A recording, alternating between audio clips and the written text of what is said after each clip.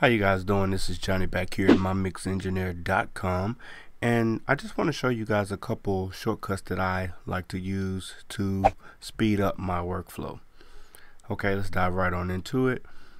This one would be duplicating the track. Instead of going over there, clicking on the track, right clicking and clicking duplicate and this comes up you can actually hit um, shift option D. Again that is shift option D. And it comes straight up. And let me show you. Cancel any track. Click on that one. D. Get ready to duplicate it. So for instance let's do this kick. Shift option D. That's what I want. Duplicate it. So in this words I duplicated everything on here. So okay let's toggle between my edit window and my mix window command equal or plus. There we go. Command equal or plus.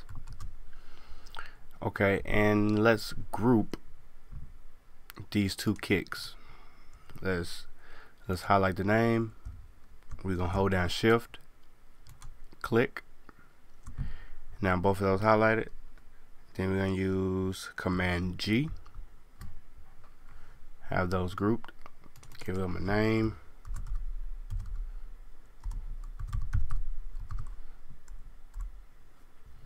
Now they're highlight, now they're grouped, and as you can see, once I lower one, the other automatically lowers.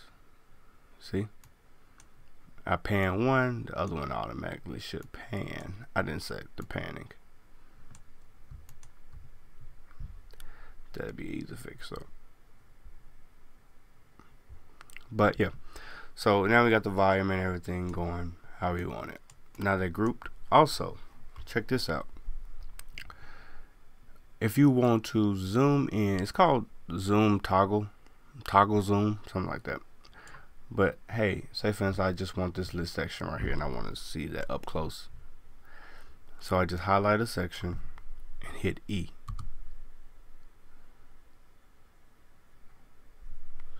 I'm done looking at it. E again. Let's go to another section. Let's go here. E. Done with it. And the cool thing about it is I can set it. So if I put it like this, then next track I go to is going to do it the same way. E. E which is cool, you know, that you can just go right into it, like go to a vocal, because I often do this. And what I just did there was shift option, and I have a scroll wheel, and I just scroll up and down. And I usually go here to kind of go in and take some of the breaths out, which you can see that I kind of took out some of them already so yeah. What's another one I like to use? Um, if you have the numeric numeric keyboard you can hit enter on the numeric key and it'll bring up your your markers where you can just mark your tracks out. Some people like to do it some people don't. To each his own it does help the workflow out I, I do use it normally, but this session wasn't that confusing. I knew exactly where everything was. Um, what's another one that I like to use very often?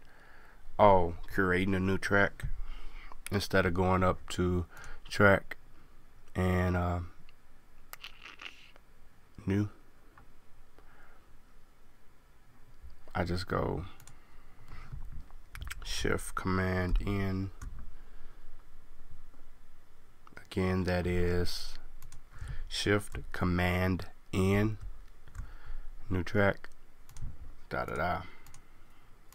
Voila. So you also can with your arrow keys you can go through and well with the arrow keys up and down changes the numbers and then you hold down command it'll change down the um, actual type of track.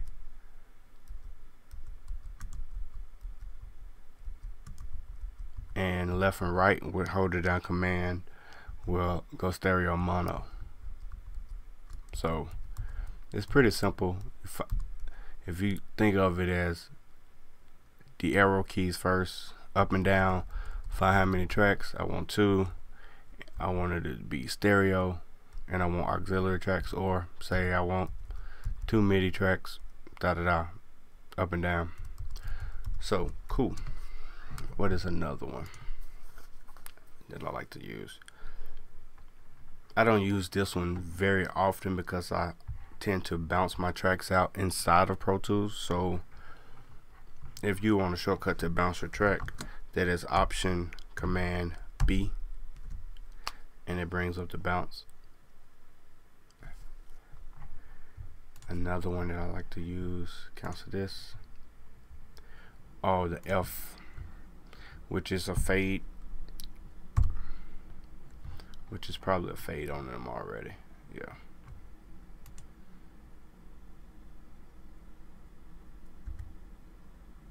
Oh yeah my bad about this one. So what I just did was I just I was trying to cut off this fade just to show you guys how to add the fade on it. So say for instance I go here I want to get as close as I can to it about right there about right there. And to cut everything to the left from the beginning to that spot where I just highlighted on the region hit A and it's gone alright and if I want to delete everything after that S. Alright and also another one is that you know normally when you want to undo you hold down uh, uh, command Z or yeah command Z. And if you want to copy something command C. It's not like that in Pro Tools. It's, it's, it's just actually Z to undo. So I hit A and I hit Z to bring it back. Alright? So instance let's go back to what I was telling you. A cut that off.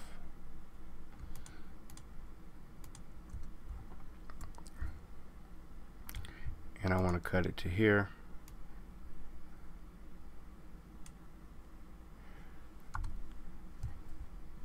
Alright. So on this on this right here. Say I want to just add fades at the beginning and the end. As you can see there's no fades there. Just hit F.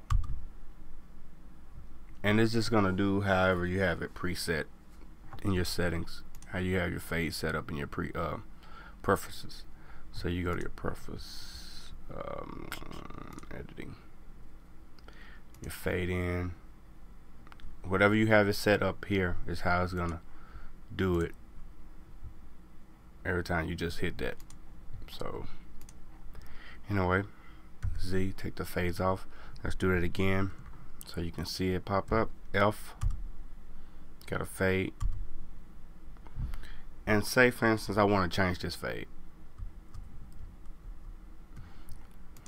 Again that was command F while I'm highlighting the section with the fades and I can just change the fades if I want to change it. Say first I want to bring it down. Well that's a crossfade area so let's say make the fades more like this. They're gonna fight.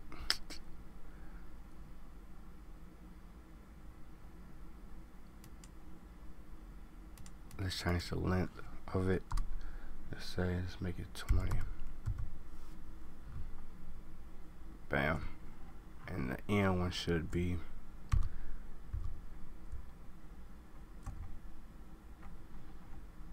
a regular fade well a jumbo fade looking. So let's change all this. And I do want to change this back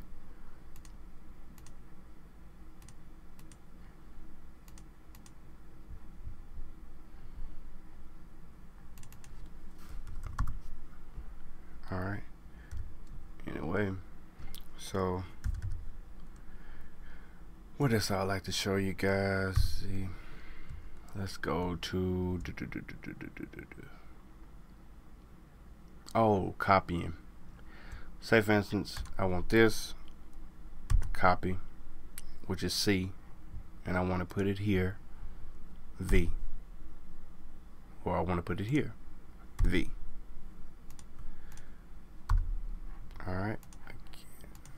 Why do that? And another way you can just go through and just highlight different ones.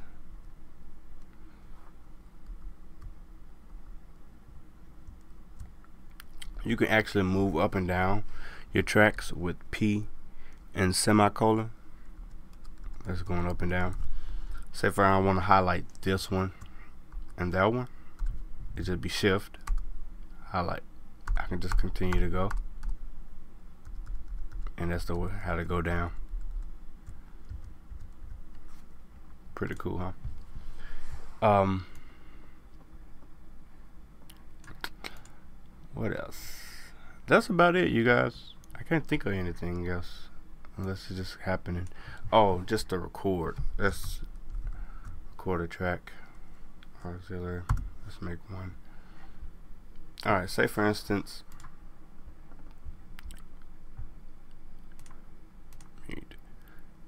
I want to record. Let's go with my inputs. Let's find one. That's right. I change my inputs up.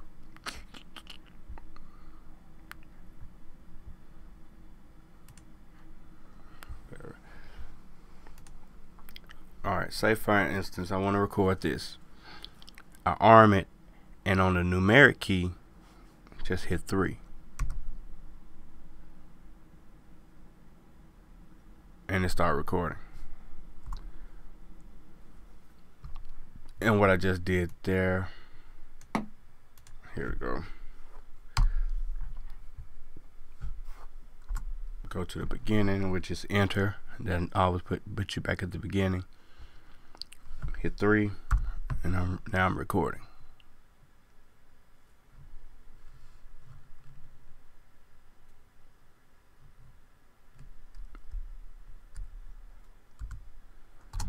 yeah so anyway. Yeah that's another neat trick. Also naming your tracks know how you get right here and you hate going. You get that noise right there. Next previous previous previous previous previous and you have to name all of them by clicking on it. You can just hold after you name it da da da name what you want to do name it.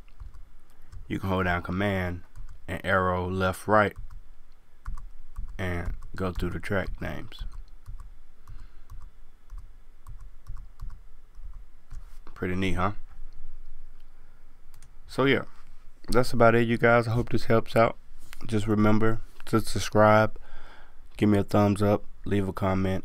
I try to reply back. You know, mixing is an art. Be you, stay true. I'm out. Well, I ain't out. I'm still here, but you know. Oops. Hey.